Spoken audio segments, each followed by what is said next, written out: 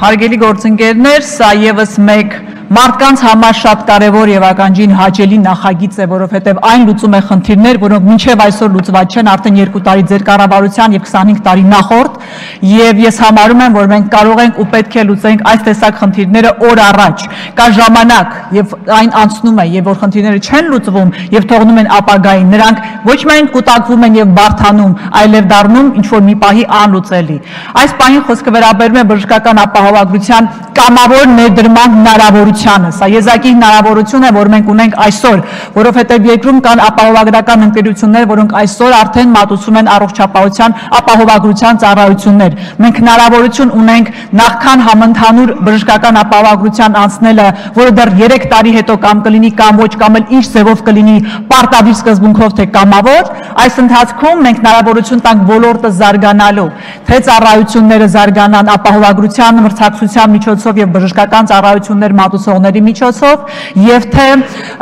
նաեւ գին որակ հարաբերակցության իմաստով, որովհետեւ ակնհայտորեն այսօր արդեն պետությունը որոշակի ծառայություններ է մատուցում քաղաքացիներին եւ փաստացիորեն նա նույնպես կարող է օգտվել այս ծառայություններից եւ ըստ էության իր միջամտության շնորհիվ գինը նույնպես կարգավորել։ Հարգելի գործընկերներ, խոսքը վերաբերվում է եկամտային հարկից նվազեցման հնարավորությանը առ այն, որ քաղաքացիները, բարձր աշխատողները այս պարագայում ովքեր որ սեփական կամքով կամավոր ապահովագրություն կիրականացնեն, ապա մինչև 50.000 դրամի չափով իրենց եկամտային հարկից այդ գումարը կնվազեցվի։ Մենք այստեղ հնարավորություն ենք նաև տալիս ավելի ընդլայնելու այդ փաթեթը, նվազեցնելու պայմանով միայն 50.000 դրամը, որը խթան է հանդիսանալու, որ վարձու աշխատողները ապահովագրեն իրենց առողջությունը։ Ով եթե ոչ նրանք են այն հենասյունը, ում առողջությունը կարևորագույն կոմպոնենտ պետք է լինի մեր պետության համար, որովհետև նրանք են առաջ տանում անողը մեր երկիրը եւ վստահեցնում եմ ձեզ ապահովագրված առողջության վարձու աշխատողի